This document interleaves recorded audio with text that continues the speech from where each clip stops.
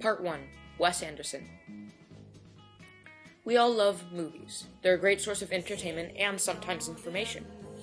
Movies can change a life, tell a story that's so important to someone that they decide to do the same.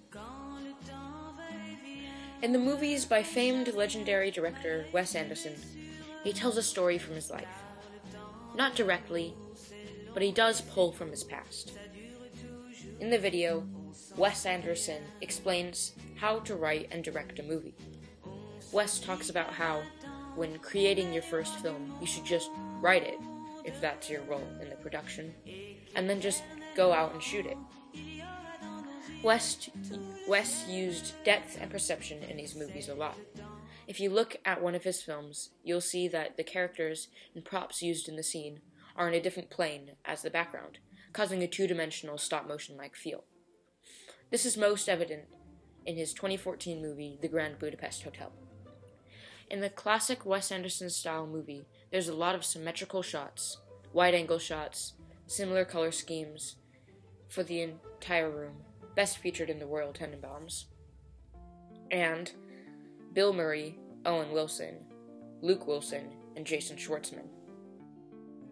Part 2 Martin Scorsese.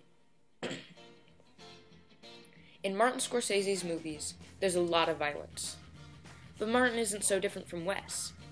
In Wes's movies, about halfway, they take a turn for the worse, but still carry the same theme, like the Royal Tenenbaums. Whereas in Martin's movies, they have some of the same symmetrical like shots music, but are dark all the way through.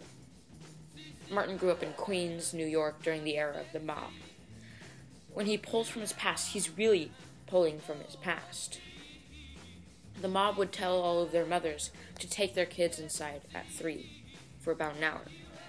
They take them inside, hear a gunshot, then pull their kids back outside to continue playing.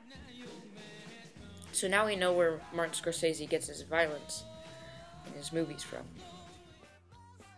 Part 3 Quentin Tarantino. People have called Quentin Tarantino the most influential director of the 21st century. Which makes sense. He's directed amazing box office hits, most of which I haven't seen, like Pulp Fiction, Kill Bill, Inglourious Basterds, Django, and Love Bridges and Bondage. Wes Anderson doesn't have anything on him in quantity and sometimes quality, and that's saying something. Quentin says to keep your movies personal. You write something that means a lot to you. He says to bring the pain of your life experiences onto the screen, onto the script and screenplay. Quentin talks about before you shoot, have it all planned in your mind. Picture the shots and have them play out in your mind, like watching the movie before it's shot. Structure your movie like a novel. Say chapter th- say chapter 3 is set 2 years in the past. Then in chapter 3 part of your film, set it 2 years in the past. Quote, sit right next to the camera, not by a monitor, unquote. Don't be elsewhere, be right there in the moment, like having the actors act for you and you alone, not for the camera, not for the screen, and not for the viewers. Part 4 We're all in this together.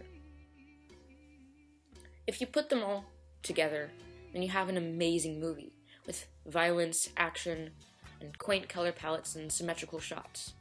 The story will be amazing, and the camera techniques as well. It seems simple to direct a movie. They can do it, why can't I?